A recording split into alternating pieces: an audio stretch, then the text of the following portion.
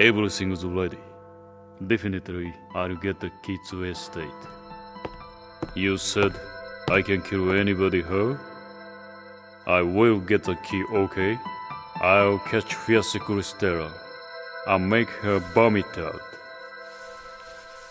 My demands are just two to get enough cost and get the baby after everything's worked out. Lust? No, this is love.